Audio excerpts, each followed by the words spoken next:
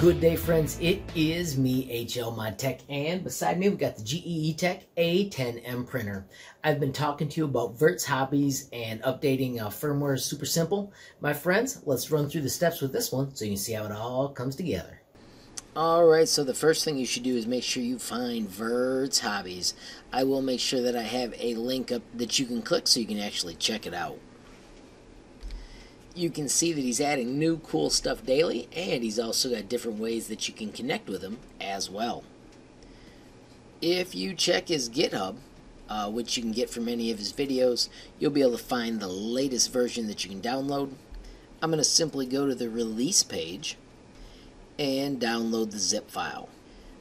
I always save mine to my downloads folder, easier to find when I'm done with it. And then we need to find Visual Studio Code. I'm Googling it, but I will put a link in the description. You can go right to download if you want to speed the process up. And hit download for Windows 10. I'm getting the X64, once again putting it in download so I can install it. When it's finished downloading, you can launch it. Accept what it asks. Hit next. Pick a location. That's fine for me allow it to install. I do want the path to be added. I am going to create a desktop icon. When I hit next, I can install and let it do its thing. While that's happening, I'm going to go to the folder where that Marlin is, and I'm going to right click, and I use 7-zip, and I'm going to extract it to the Marlin 492 folder. And that is complete. Visual Studio is done. I am not going to launch it yet. Instead, I'm going to close out, reboot, and pick up after it's got that path updated.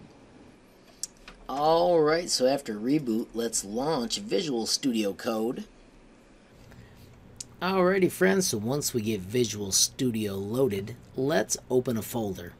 When you hit open a folder, remember we put ours in downloads, and we simply want to get in the folder. Once you're here, you can hit select, Give it some time and it will load. If we click over here where it says the Marlin B492 folder, or yours may be different because of a different version, we're going to start on the Start Here file. Now before it can do anything, we need to get some code. The first piece of code, or the first extension I want you to add, is simply platform.io. So if I type PLA, there we can see it, and we can hit install and let it do its thing. You can see also down here that it wants to configure our IntelliSense settings. We'll do that in a minute. We'll just let it finish with the PIO loading first. You can see the entire time the process is going on, they describe it down here and they talk to you about it and they'll let you know when it's done. When it's complete, let's return back to our folder view. Once again, we're in the start here. And this is where Vert has done all his amazing work. Uh, shows you how to get to his stuff so you can check out the cool videos he's creating. He's got all these versions that we can do almost instantly. Uh, like I showed you, I've got an A10M. To switch to the A10M, all I need to do is go down here to where it says Enable Mix, and I need to backspace so it's enabled. I do not have any of these mods. I don't have a touch probe. I'm not going to do the heater accuracy. I do want to test the filament run out. So I'm going to backspace over that and then everything else is fine. Nothing else in here to fiddle with. It's that easy. Now, one thing I like to do just for fun is I like to go up to the machine name, and I want to give it something besides 3D printer. So I'm going to call this A10M, and then I'm going to put HLMT for HL Mod Tech, and I'm going to put a 1 after it. As soon as you're done with that, double check to make sure you don't have any errors. Sometimes you just need to restart your uh, system to get it checked uh, before it'll have all the little drivers and stuff. And you can hit build and it will do all its work to build it. Mine took two minutes, but I like speeding up the video so you don't have to wait. And there when you get to the end, it shows you that it is finished and all is groovy. And then this is the magic page that lets us get to the firmware. Alright, so let's hold down control and click on that hex file we want it'll open up this and we can do open containing folder or reveal in File Explorer. And there is that sweet little hex that we need. Now instead of having it stored all the way down there, I'm going to copy it. And I'm going to put it back in my Marlin folder right at the root. And then I'm going to real quickly launch Cura. Alright, so once you've got Cura updated, uh, if you haven't actually added your printer, let me show you something cool. You can see I was using this with my old printers. Uh, now, if you go to non-networked and custom, the Geeetech printers are in the list.